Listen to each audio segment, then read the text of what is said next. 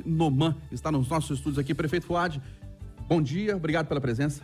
Bom dia, Eustáquio, obrigado você pela presença, pela, pelo convite, obrigado, Cátia, e bom dia a todos os ouvintes da Itatiaia. Bem-vindo ao Jornal da Itatiaia, prefeito. Ô, prefeito, e sexta-feira é importante para Belo Horizonte, porque às 10 horas o governador Romeu Zema vai sancionar um projeto que tem a ver com a ocupação Isidora, ali no limite com Santa Luzia. Convidou o senhor para participar da sanção desse projeto e ele vai permitir, vai viabilizar a urbanização da Isidora, é isso?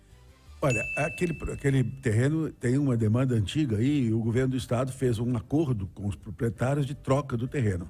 A, Câmara, a Assembleia Legislativa acabou de aprovar, o governador, então, hoje sanciona esse projeto, ou seja, assume o terreno, são terreno muito grande, esse terreno então é repassado para Belo Horizonte, para que Belo Horizonte possa fazer a urbanização daquela região. Nós temos 5 mil famílias ali morando em situação de extrema dificuldade. Logicamente, para que eu possa fazer isso, nós temos um acordo com o Banco Mundial de um empréstimo de 168 milhões de dólares, quase um bilhão de reais, para fazer esse trabalho. Esse projeto ainda está na Câmara, precisando de apreciação da Câmara dos Vereadores, já está lá há algum tempo. E nós esperamos que agora, com a sanção do projeto pelo governador do estado, a Câmara possa acelerar para que a gente consiga assinar o contrato e começar as obras de urbanização do Isidora, que é uma grande demanda daquela comunidade. E por falar em terreno, outra polêmica que a gente tem aí nos últimos meses é em relação ao terreno do aeroporto Carlos Prates. A Prefeitura de Belo Horizonte, assim que receber né, a, a, posse definitiva do terreno, ela vai manter, o senhor mantém o projeto de transformar em um bairro, apesar de resistência de parte da comunidade do bairro Carlos Prates? Olha, a questão do aeroporto é uma questão que está mal colocada muitas vezes. É, a prefeitura não teve nada com o fechamento de aeroporto. A prefeitura não tem aeroporto, não comanda aeroporto. Quem resolve isso é o governo federal. O governo federal, quando tomou a decisão de fechar, ele lá atrás quis vender o terreno e aí nós fomos contra, porque vender o terreno ali ia gerar uma especulação imobiliária. Quando esse governo resolveu de fato encerrar as atividades e tomou essa decisão, porque a prefeitura pediu, ó, me dá o terreno, já que é, é, o terreno são 540 mil metros quadrados de um coração de Belo Horizonte. Então, nós fizemos um projeto é um projeto que hoje está estabelecido 4.500 moradias, né? Dessas, cerca de 3.200, 3.300 são moradias populares de, prime... de faixa 1 e faixa 2, e uma outra cerca de 900, mil e poucos apartamentos que podem ser comercializados, porque com esse dinheiro vai ajudar a construção. E vamos fazer um parque, vamos fazer equipamentos públicos, comércio, UPA, posto de saúde, eh, escolas para criança e um grande é, espaço de, de esporte, campo, futebol, quadras, ou seja, será um grande bairro que vai integrar aqueles bairros daquela área. Esse, é, nós, a pesquisa última que nós vimos, 79% da população de Belo Horizonte concorda em transformar aquilo em bairro, enquanto 41% diz que não querem que acabe o aeroporto. Mas a decisão do aeroporto não é uma decisão nossa. Nossa decisão é, de posse do terreno, vamos construir. Prefeito, um outro assunto, né? A gente está vivendo um período de muito calor em Belo Horizonte nesses dias. A cidade, inclusive, pode ter recorde de temperatura no próximo domingo. Mas já nas próximas semanas começará o período chuvoso aqui em Belo Horizonte, que é sempre muito problemático. O que está sendo feito e o que, que a população pode esperar de prevenção e de combate aos problemas em relação à chuva? Bem, nós estamos construindo em obras concluídas mais de 20 contenções de enchente, bacias. É, nós temos bacias do Olaria, bacias do Ferrugem, que vai é, diminuir a entrada de água no, no, no, no, naquela região da Tereza Cristina. Com isso, nós esperamos que essas duas grandes bacias já estão uma pronta e a outra já operacional. A gente espera não ter na Tereza Cristina esse, esse problema. No Vilarinho, nós estamos construindo dois grandes é, é, reservatórios, 33 metros de profundidade, 140 metros de comprimento, 40 de largura, para colher ali milhões e milhões de litros d'água. Esses não estão prontos, mas no ano que vem ficará pronto. Mas lá embaixo, naquela praça que tem o Habibs ali, já tem uma área de amortecimento de água, que já diminuiu muito o impacto. Estamos fazendo a Praça das Águas, é, na Cristiano Machado ali, é, em confluência com, com a, a saída ali do, para chegar no, pra ir embora no, no viaduto, na marginal ali. A Praça das Águas vai coletar muita água, ou seja, nós estamos trabalhando para acabar com enchente. No Cristiano Machado, na Vilarinho, na Tereza Cristina e em várias outras áreas. Contenção de encostas, nós estamos trabalhando. Temos 215 áreas de risco, já 170 foram é, corrigidas. Nós agora estamos trabalhando para ver se conseguimos o restante, são projetos um pouco mais complexos. Você acredita que vai dar tempo? Pois é, essas outras 20, 30 que estão faltando ainda não. Né? Então, essas aí nós temos que ter um cuidado adicional. O que nos assusta, o que nos preocupa muito, é quando eu chego perto dos engenheiros e converso com eles, e aí, como é que tá? Eles, ó, tá tranquilo, vai dar certo, fica tranquilo. Quando eu chego perto da Defesa Civil, ele fala assim, olha, olha com o Rio Grande do Sul, olha com é, é, Petrópolis, olha o Recife, a situação está mudando. O que nós estamos trabalhando é para que a chuva seja recebida pela população como uma bênção de Deus como uma água que vem para irrigar a nossa terra, e não como uma área de terror, de, de problema sério.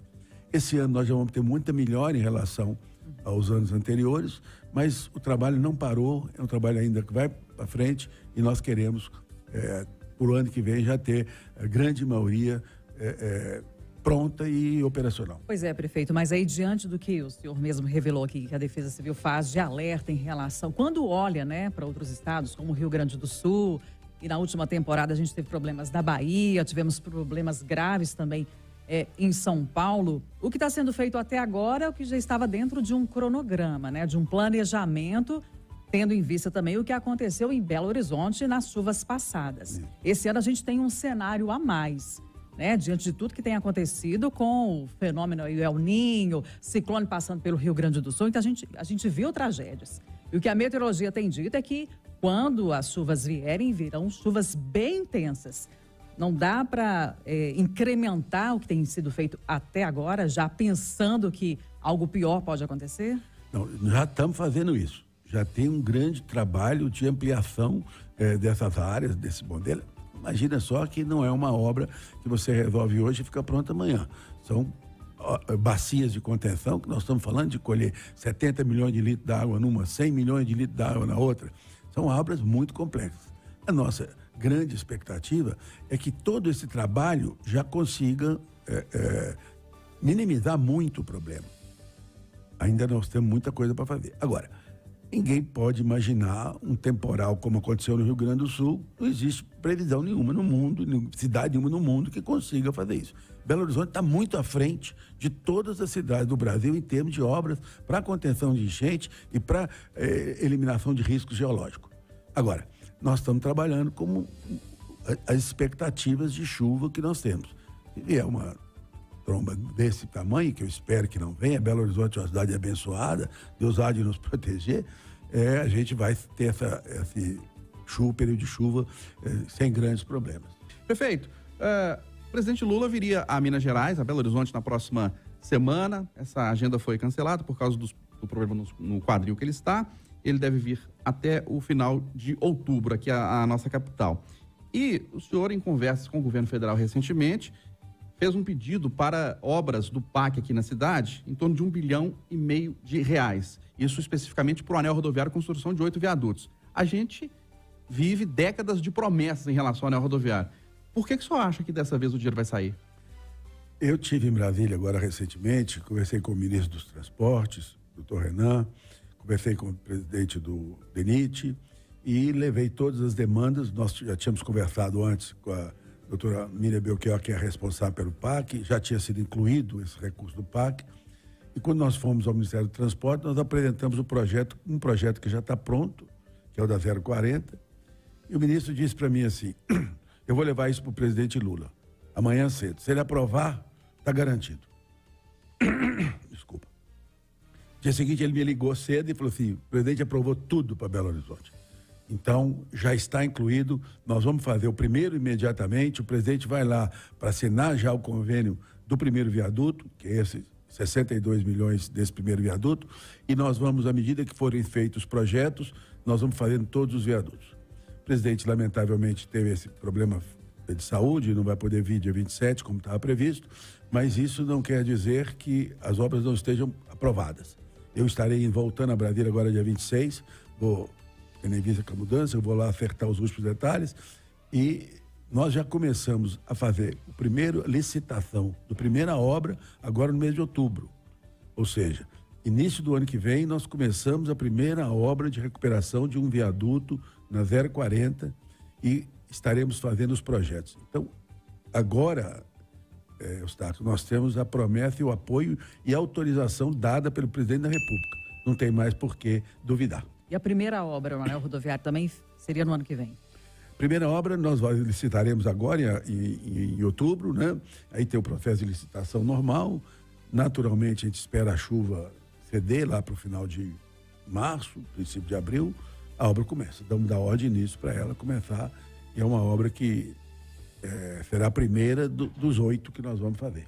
Prefeito, um outro assunto aqui. A gente pode considerar que causou uma surpresa na cidade o fato de nenhuma empresa ter se interessado na administração do zoológico. Né? A prefeitura abriu esse processo de concessão.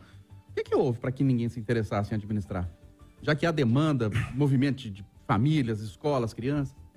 Olha, ali a impressão que nós temos, né, não, teve concorrente, paciência, mas uma das empresas que estava muito interessada é uma empresa que ganhou no Rio de Janeiro, fez um belo trabalho no Rio de Janeiro, mas foi aquela empresa que teve aquele, aquele problema lá com as girafas no Rio de Janeiro. Eu não sei se isso, suposição minha, né? Não sei se isso de alguma forma inibiu que eles pudessem é, participar.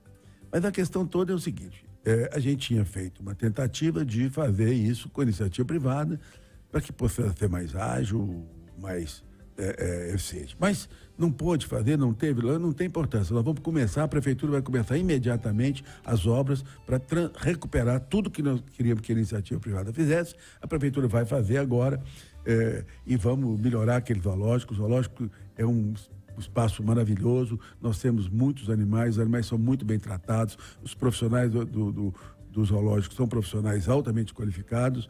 O que está faltando é algumas obras é, que a gente tinha deixado para privatização, mas como não vai acontecer, vamos esquecer isso e vamos para frente, nós mesmos vamos cuidar do nosso zoológico. Então a prefeitura está desistindo da concessão do zoológico? É, não adianta ficar, é, é, mas não existem muitas empresas interessadas, são duas, três empresas que estão interessadas. Mas por que, que o senhor acha que as empresas não estão interessadas? Qual que é o problema do edital? Eu não sei, não tem problema nenhum no edital, o edital foi negociado, conversado.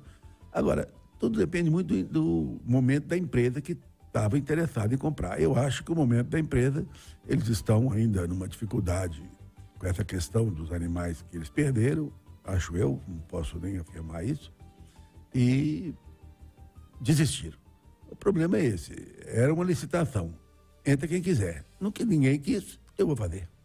Prefeito, a gente tem recebido aqui na Itatiaia uh, de ouvintes reclamações sobre praças sujas, degradadas, equipamentos públicos danificados na cidade. A gente sabe que o senhor já recebeu a cidade no ano passado, quando assumiu a prefeitura, uma herança de alguns problemas, né?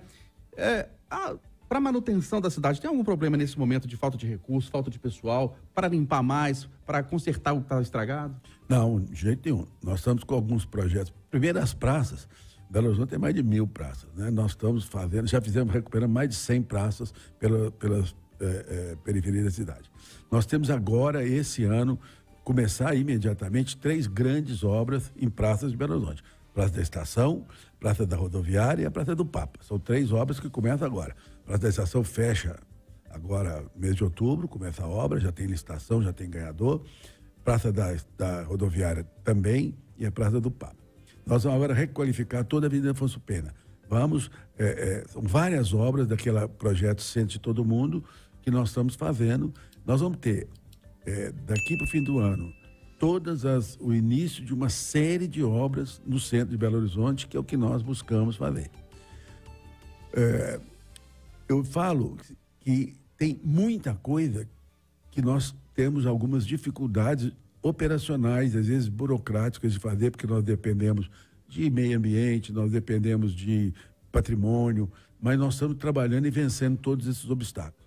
Eu espero que é, é, a partir do ano que vem a gente já tenha muitas obras.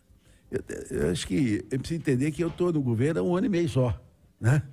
E eu acho que nós, nesse um ano e meio, já conseguimos construir muitas coisas. E a preocupação nossa é sempre recuperar esse patrimônio que, de alguma forma, está danificado.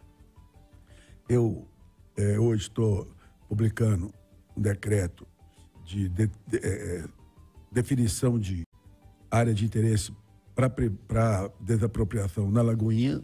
Nós vamos melhorar muito aquela área da Lagoinha com esse projeto que a gente vai fazer. Vamos desapropriar muita coisa ali para poder transformar aquela área numa área muito mais, é, é, é eu diria assim, pronta para uma cidade como Belo Horizonte. Então, tem muita coisa acontecendo. De fato, ainda tem problemas. Agora, é, as licitações estão prontas, muitas já feitas, algumas obras já estão contratadas, o dinheiro não está faltando, nós temos recursos para isso.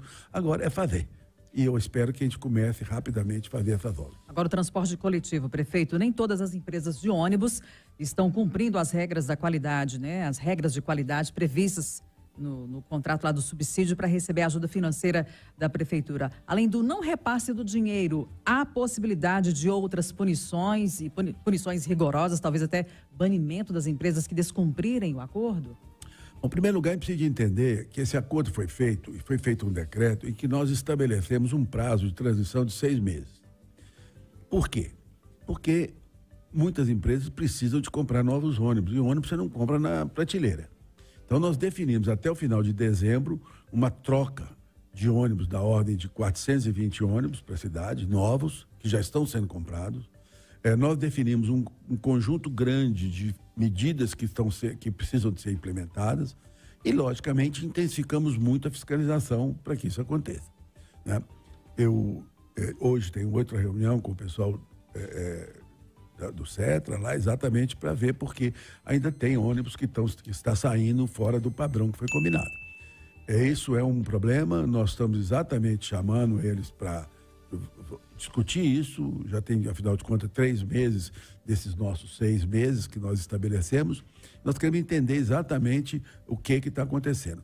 Já compramos ônibus, já tem ônibus novos rodando, já aumentamos muito o número de frequência de viagens mas ainda temos muito problema para resolver e estamos muito atentos a isso. E eu espero que de, nesse prazo de seis meses que foi dado, que termina em dezembro, a gente consiga que as empresas é, cumpram plenamente o que foi combinado.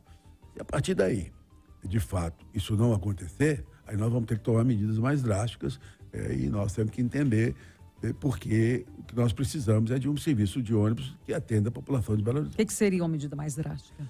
Bom, nós temos que avaliar com, todo, com toda a parte jurídica, tudo que é correto, o que, que é dentro dos contratos, o que, que é legal. Né? É, nós temos que exigir dos, consórcios que eles cumpram esses, esses compromissos. O consórcio é responsável por todas as linhas que estão ali. Então, nós vamos ter que chamar os consórcios e dizer assim: olha, essa linha aqui ou essa empresa não está cumprindo, você troca ou eu vou cancelar seu, sua parte nesse contrato. Então, tem muita coisa que tem que ser feita. Agora, nós queremos fazer isso com parcimônia, com um jeito de atender. Por quê? Porque as empresas não podem imaginar que vão ter a complementação da passagem como e continuar fazendo o serviço ruim que está fazendo. A prefeitura vai ser muito dura com eles. Agora, nós demos um prazo de adaptação. Vencido o prazo, não atendeu, aí muda a conversa.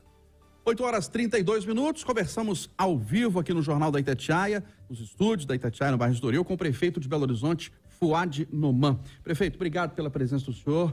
Um grande abraço, ótimo fim de semana.